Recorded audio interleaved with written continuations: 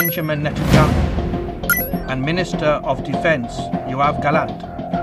bear criminal responsibility for the following international crimes committed on the territory of the State of Palestine